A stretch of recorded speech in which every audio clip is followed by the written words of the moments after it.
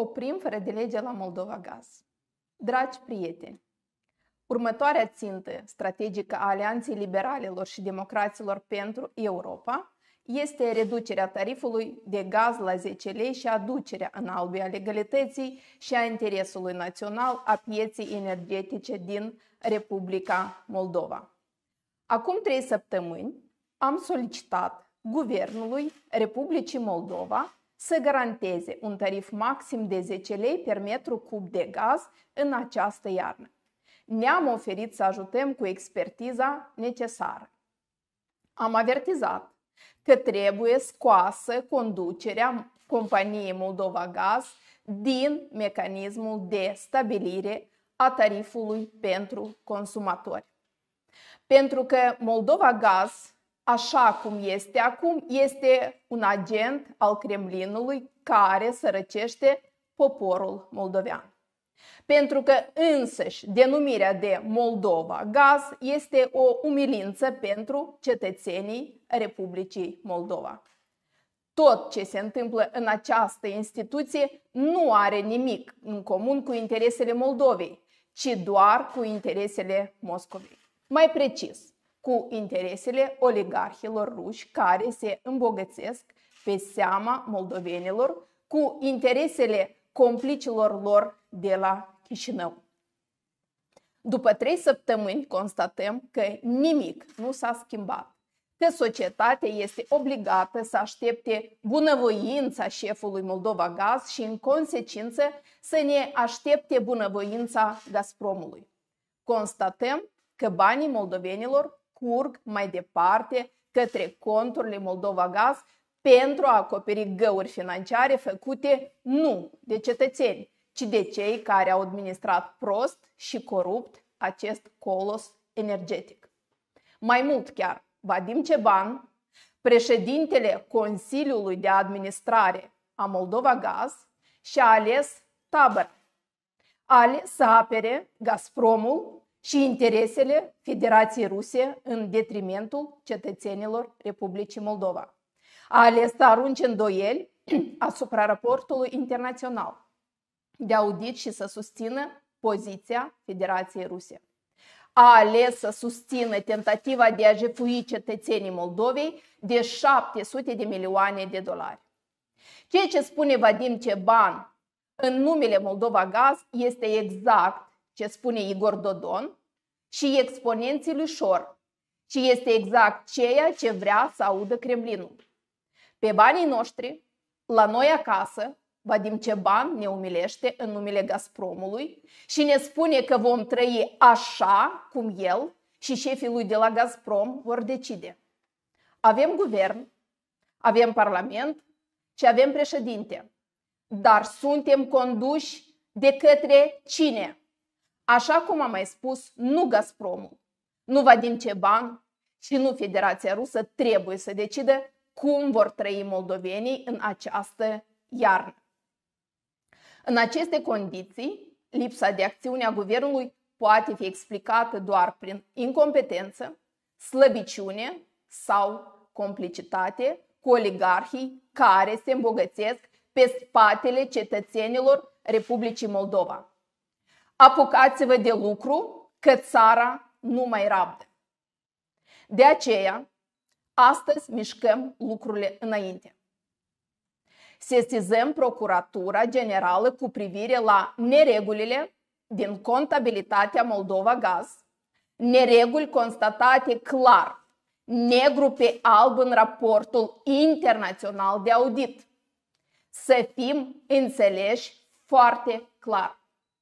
Fostele administrații de la Moldova Gaz, precum și foștii guvernanți, au dăunat major interesului național și acest dosar trebuie dus până la capăt. Dar avem o subliniere esențială, anume posibilele ilegalități și acțiuni împotriva interesului național ale actualei conduceri Moldova Gaz trebuie oprite de urgență și persoanele responsabile anchetate. În contextul raportului de audit cu privire la datoria istorică a companiei Moldova Gaz către Gazprom, constatăm mai multe acțiuni ale conducerii Moldova Gaz care sunt contrare intereselor naționale și trebuie anchetate de către procurori. Astfel, conducerea Moldova Gaz, în frunte cu Vadim Ceban, 1. A subestimat la penalități exagerate impuse de către Gazprom și filialele acesteia. 2. A continuat să accepte și să subsemneze la datorii false pretinse de către Gazprom fără a iniția un audit al acestora. 3. În ciuda evidenței, a acceptat o distribuție injustă în cele două maluri ale Nistrului a veniturilor din tranzitul de gaze, lezând cu bună științe interesul cetățenilor Republicii Moldova în interesul Federației Ruse, a complicilor săi de la Tiraspol. 4. Deși anul trecut Gazprom a încălcat contractul de livrare de gaze și a livrat intenționat sub nivel contractat, Moldova Gaz nu a solicitat către Gazprom plata penalităților prevăzute în contract, nici până astăzi. 5. Mai mult, odată cu publicarea acestui raport de audit, conducerea Moldova Gaz nu a luat nicio măsură de corectare a deficiențelor expuse în raport, dar și-a concentrat eforturile de comunicare pe contestare publică a rezultatelor auditului. 6. Vadim Ceban continuă să impună cetățenilor în continuare tariful actual la gaz natural, exagerat de mare, contrar faptului că prețul de achiziție a scăzut semnificativ. 7. Conducerea Moldova Gaz intenționează să cumpere gaz din Rusia în condițiile în care prețul solicitat de către Gazprom este cu cel puțin 50% mai scump deja decât cel furnizat de companiile europene. Și când avem deja rezerve solide cumpărate din vară și avem furnizori stabili din Euro, Uniunea Europeană. Astfel, considerăm că actuala conducere a Moldova Gaz, în frunte cu președintele Consiliului de Administrare, Vadim Ceban, acționează cu bună știință în detrimentul intereselor naționale ale Republicii Moldova și în interesul Federației Ruse și a exponenților săi. În consecință, conducerea acestei instituții trebuie închetată și toate deciziile ilegale, precum și fluxurile financiare, trebuie investigate pentru a opri odată pentru totdeauna jefuirea cetățenilor Republicii Moldova. De asemenea, vom sesiza autoritățile să ia act cu privire la declarațiile cetățeanului Vadim Ceban, prin care încearcă să inducă în eroarea opinia publică. Distribuirea cu bună știință în spațiu public a datelor și informațiilor false, cu atât mai mult a celor care vizează interesul național, este o acțiune premeditată care trebuie sancționată legal și moral. Subliniem că informațiile false tirajate de acesta și distribuite inclusiv pe unele canale cunoscute ca fiind parte a rețelei de zoinițe a fugarului șor, ridică serioase semne de întrebare cu privire la scopul și intențiile șefului actual al Moldova Gaz. Pentru claritate, ne referim la calificarea raportului de audit al datoriei istorice a Moldova Gaz către Gazprom ca fiind un raport de consultanță care conține doar opinii. Fals. Declarațiile lui Vadim Ceban că prețul actual de achiziție a gazului prin Energocom este mult mai mare decât prețul real. Fals. Declarațiile acestuia cu privire la necesitatea de a păstra tariful de gaz la actualul nivel în această iarnă pentru a acoperi? Fals. Declarația șefului Moldova Gaz cu privire la necesitatea achiziționării de gaz cu aproape 50% mai scump de la Gazprom în detrimentul contractelor avantajoase cu furnizorii europeni? Fals. Este inadmisibil că faptul să îi se permită șefului acelei mai mari companii energetice din Republica Moldova să speculeze cu cifre și date false în interesul Kremlinului.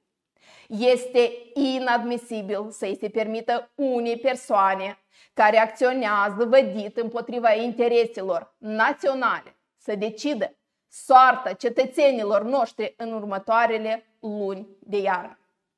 Acțiunile și declarațiile recente ale lui Vadim Ceban îl fac incompatibil cu funcția pe care o deține și autoritățile Republicii Moldova, în calitate de acționar la Moldova Gaz, trebuie să retragă suportul și să-i solicite demisia imediată. Acest apel public va fi urmat de sesizări legale către instituțiile abilitate și de monitorizare a acțiunii acestora.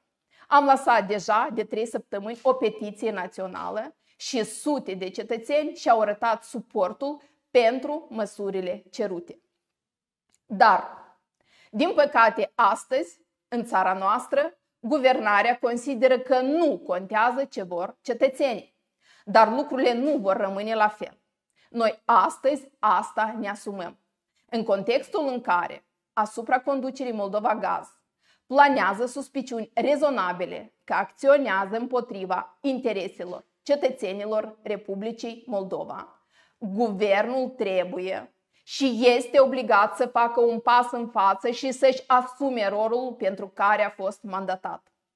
În virtutea atribuțiilor sporite oferite de stare de urgență, este în vigoare, guvernul trebuie să-și asume stabilirea tarifului pentru gazul vândut cetățenilor de către Moldova Gaz. Insistăm ca acest tarif să fie stabilit maxim la 10 lei.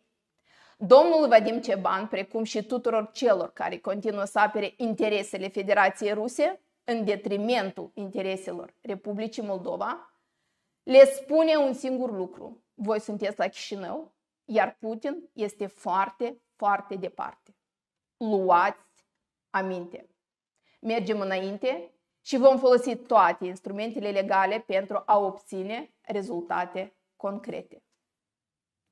De asemenea, facem apel către toți oamenii cu integritate din instituțiile de stat să ni se alăture în acest demers și să punem capăt jefuirii cetățenilor Republicii Moldova. Împreună oprim fără de legea de la Moldova Gaz. Mulțumim!